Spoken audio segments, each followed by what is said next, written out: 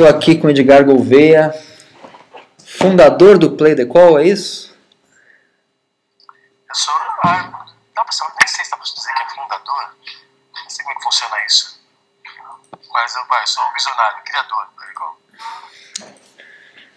Ok. E, cara, então acho que antes de mais nada, eu acho que esse é o seu principal projeto hoje em dia, é isso, Edgar? É, eu estou me dedicando plenamente, hoje em dia, já nos últimos quatro anos. Ok, o Call começou há quatro anos atrás.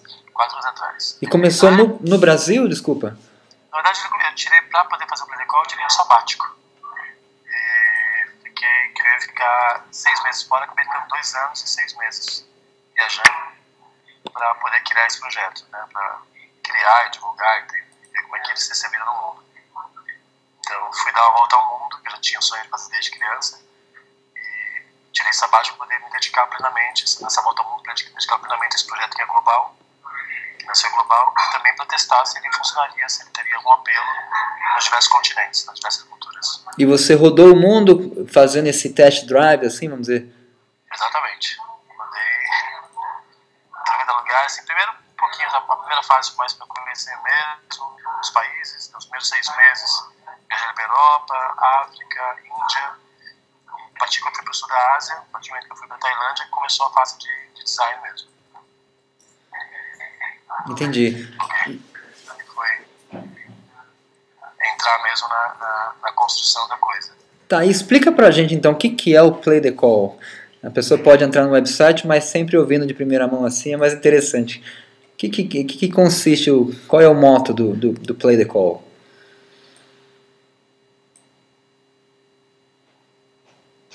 Pode. Pode. A pessoa pode entrar no, no, no playthecall.com.br. Apesar de ser BR, vai estar tudo em inglês. Por enquanto, daqui a um mês eu em português. Mas o Play the Call ele é um game que tem a meta de mobilizar 2 bilhões de pessoas, bilhões com B, em 4 anos. 2 bi. 2 bilhões de pessoas para uh, 2 bilhões de pessoas para salvar um mundo de verdade. E quando a gente fala salvar o mundo, é salvar a biosfera. Salvar os oceanos, salvar a Amazônia, salvar os animais, cuidar da água, salvar os rios, enfim, salvar a nossa casa. Talvez em, em quatro anos a gente não consiga mudar o coração do homem, né, transformar tudo, parar de ter guerra, mas pelo menos a gente tem que salvar a nossa casa. Então vamos lá, o que é Call é um jogo uh, que tem a meta de mobilizar 2 bilhões de pessoas em 4 anos para salvar um mundo de verdade. É como se fosse uma grande gincana global, que a gente convida pessoas do mundo inteiro a fazerem ações mão na massa para salvar a biosfera. Então, plantar árvores, limpar praias e oceanos, comer menos carne, andar mais de bicicleta, presentear, praticar mais o gift economy, então presentear o que é demais pra gente, cuidar bem do nosso lixo, cuidar bem da nossa água. Né? Por que um jogo? Né? Porque uh, a gente descobriu, a gente percebeu nesses 20 anos de atuação, de criando jogos comunitários, de que se eu convido você para um sacrifício, para um sacerdócio, para um trabalho, assim, pensar em salvar o mundo, dá muito trabalho. Assim, ai meu Deus, eu tenho que trabalhar, tenho que cuidar dos meus filhos, né? Mas se eu convido você para uma festa, né, para um, um futebolzinho, para uma cervejinha, uma gincana, todo mundo vem com muita energia. Então, quando a gente está brincando, melhor, a melhor versão de nós mesmos se manifesta. Quando eu estou jogando, estou jogando uma gincana, eu já estou esperando que a missão seja muito difícil, senão não tem graça. Estou esperando que seja impossível. Eu já sei que vou trabalhar em equipe com meus amigos numa gincana, porque é impossível resolver sozinho, então já estou predisposto a ser cooperativo. Okay. Então a gente já é, gente precisa ensinar ninguém a ser o seu melhor, não precisa forçar ninguém a ser o seu melhor, nem pagar ninguém para ser o seu melhor. Certo. Só porque é um jogo, só que uma gincana já dá o nosso melhor. Então se a gente de fato quer, quer transformar o planeta e quer reverter a situação que ele está de uma maneira muito rápida, a gente tem que convidar as pessoas melhor versão delas mesmas. Não tem tempo de educar elas, de sensibilizar elas. E quando a gente está brincando, a gente já é isso. E é isso que a gente quer convidar as pessoas para jogar. Para além disso, a gente, se algumas pessoas ainda quiserem resistir, a gente diz que o jogo, na verdade, ele é proibido para maiores de 18 anos de idade. Uhum. Então, só crianças e jovens de 8 a 18 que podem jogar o jogo, que são os melhores. Na verdade, todo mundo pode jogar o jogo. Mas quem é que quem são os donos do jogo, os capitães dos times, são as crianças e jovens. Né? Eles recebem as missões.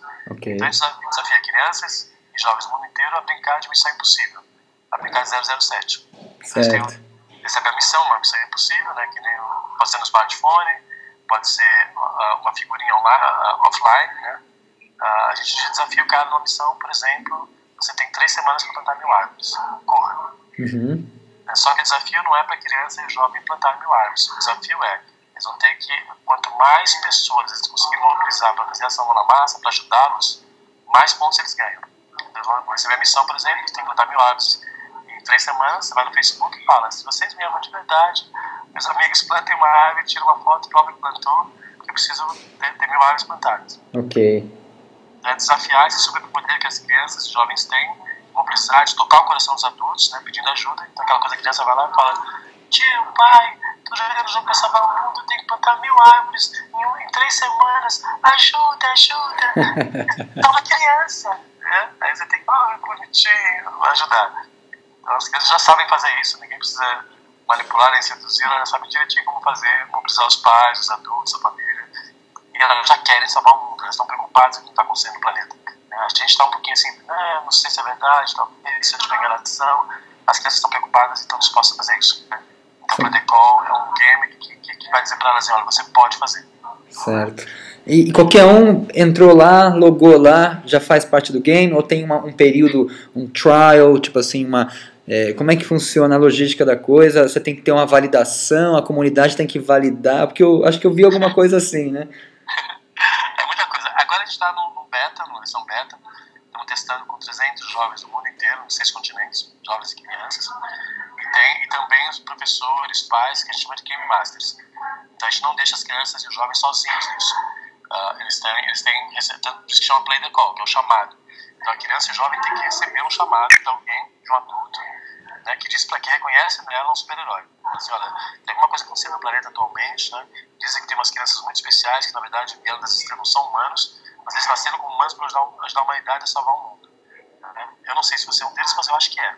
Se você for, você vai saber fazer com isso. Vai dar para eles um, um, um logozinho chamado que tem um código para entrar no site e entrar no game. Certo. No web e no game. Ou receber um álbum, que é tipo um álbum de figurinhas, que a gente chama de álbum de aventuras, com as missões, que cada missão é uma figurinha. Então, se, se, se o jovem, a criança não tiver acesso à internet, não tem problema que ele tem um álbum, que é um diário de bordo, né? Uhum. Ele vai jogando as missões e, e, registrando esse álbum, o que ele fez, quantas pessoas ele mobilizou, qual foi o impacto, assim vai. É como se fosse cada jogador, cada criança, cada jovem vai ter um livro de como é que ele mudou o mundo. Certo. E, e vem cá, e se a gente quisesse, é, assim, haveria a possibilidade de você nos instigar como, como o Congresso, como assim, como essa movida, como essa comunidade está se criando é, em volta do aprendizagem viva, com esse tema, com coisas relacionadas, instigar, você nos dá um, uma meta aí, um, um desafio. Um... faz, faz. A nossa meta é mobilizar 2 bilhões de pessoas em 4 anos, então a gente precisa de todo mundo. Se vamos provocar, eu sou muito bom em provocar. Ah, eu diria para todo mundo do Congresso, acho primeiro que é um. dá para perceber que é, um, que é um jogo, uma aventura, a gente chama que é uma jornada épica, que a gente que convoca jovens e crianças, né? Convoca jovens crianças a convocarem os seus amigos, seus pais, seus vizinhos então a jornada épica para a humanidade. Né? E com essa, com essa utopia de que, que construir o mundo dos nossos sonhos pode ser rápido, pode ser divertido e não vale colocar a mão no pulso. Porque o jogo tem que ser feito todinho sem dinheiro. Vai ter que arrumar mudas de graça e plantar, não vale gastar dinheiro. Vai ter que transportar mudas de graça, ter que chamar, ou seja, usar todos os recursos que a gente tem disponíveis na sociedade, na nossa família, né, nossos amigos, para poder construir o mundo dos nossos sonhos.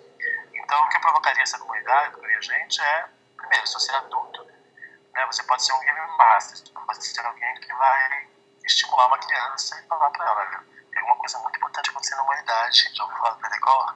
É, dizem que crianças muito especiais, jovens muito especiais, então vieram aqui para ajudar a salvar o mundo.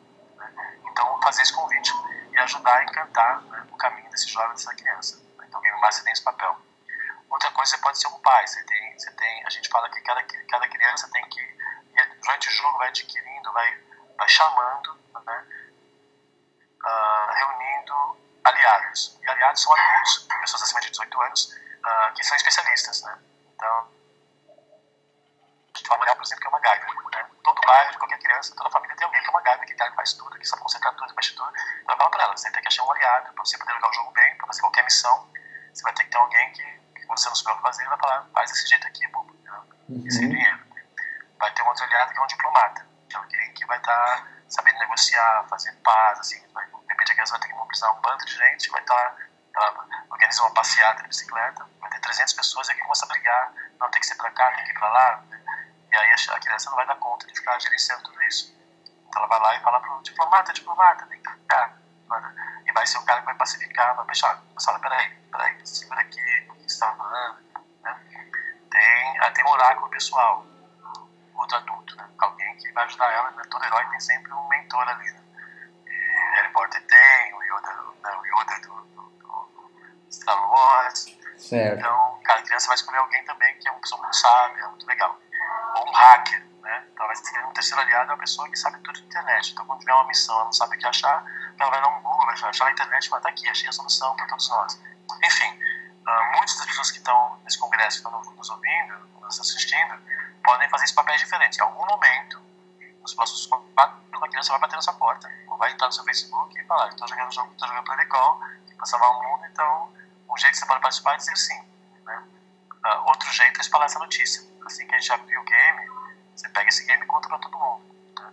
Você leva para as escolas próximas de você, né? leva para as crianças próximas de você. E assim vai. Então, todos nós podemos ser potenciais disseminadores. O nosso papel agora no nosso time é criar missões fantásticas, visuais incríveis, que você vai olhar e vai ficar irresistível, vai ficar muito fácil para qualquer um de nós levar para as crianças da nossa família, para as escolas do nosso bairro né, e para os possíveis game masters da nossa rede. Fantástico. E quem se inscreve é o adulto, no caso, ou é a própria criança? A criança, o jogo mesmo. No, no website, a gente está montando de tantos adultos que perturbaram a gente, os primeiros, né? A gente dizia que o jogo era, é proibido para maior de 18. Mas por que maior de 18? Ah, você precisa já aprender a salvar o mundo, sabe que está salvando o mundo há muito tempo, não salvou, agora é vez das crianças, né? Diz que não tem tempo, tem que estudar, tem que trabalhar, então continua estudando, trabalhando, e vai salvar o mundo são as crianças. As pessoas ficavam bravas, né? Porque elas, quando, elas, quando a gente apresenta o game, mostra o visual, mostra as missões, todo mundo quer jogar. Mas esse jogo eu estou esperando desde criança, eu queria jogar isso. Assim eu quero mudar o mundo. Agora não dá mais tempo, você vai. Você acha que não é criança, você vai fazer parte da, do clã da criança. A gente fala que cada, cada criança vai crescendo o seu clã. Ela vai chamando amigos, a, a, adultos, pais, né, especialistas, aqueles aliados que eu te falei, e vai criando um bando. Né? Não é ela que vai jogar sozinha. Ela vai só pedir. Vai ser permissão para mostrada, agora a missão é plantar mil árvores. Vamos lá, se organiza. Mas é ela que manda. O clã dela se organiza para fazer aquilo acontecer. Fantástico. Então, é, então, assim, por hora, assim, no primeiro momento que se inscreve a criança, ou seja, quem recebe a missão é ela, e ela passa para frente, ou seja, ela é a líder. Né? Porque e, e ela é uma pessoa que você sabe que, que tem carisma, que se preocupa de fato com o planeta, ela não vai que não tem nenhum interesse em ser líder, porque vai ser política.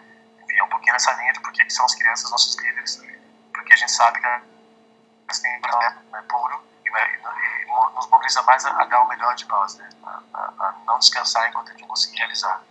É um pouquinho disso, assim, vai, ela vai criar paz, vai garantir que vai ser uma brincadeira mesmo não uma política disfarçada, uma revolução, um movimento, né? Certo. Que muita gente tem, muita gente tem, tem um pavor, quer, quer se separar.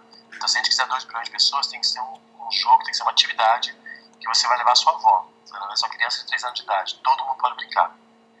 Então, acho que é garantir um ambiente seguro né, né nesse movimento de todos juntos, a humanidade. Ele não é uma revolução, a gente não tem inimigos, a gente não vai contra ninguém, a gente vai a favor da biosfera.